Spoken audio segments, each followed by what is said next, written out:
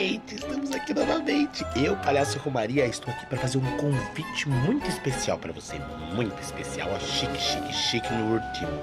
Olha só, é, eu vou começar uma turma, uma turma de tarô, uma turma de estudos do tarô.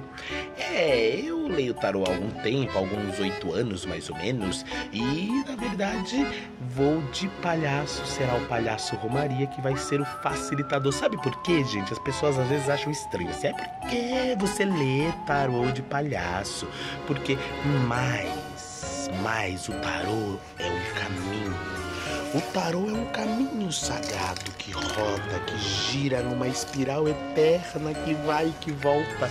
E quem faz esse caminho é ele. Sabe aquela carta do tarô Coringa? Então, não aquele do Batman, né, gente? Não aquele, é louco, mas nem tanto. Mas pode ser louco também, né? É o louco do tarô. Sendo um louco do tarô,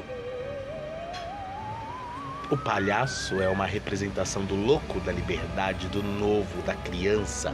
Então faz todo sentido o palhaço. E eu gosto muito quando o palhaço é uma entidade, quando ele chega, quando ele está aqui, quando eu estou aqui como Romaria, eu sou muito mais livre, eu sou muito mais leve, solta, solte suas asas, solte suas peras. Então eu trarei toda essa liberdade, essa alegria, esta fantasia para estudarmos o tarô.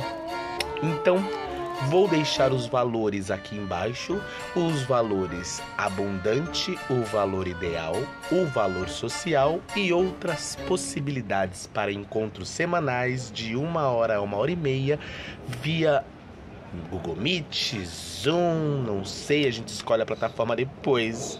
Tá ok, gente? Bora?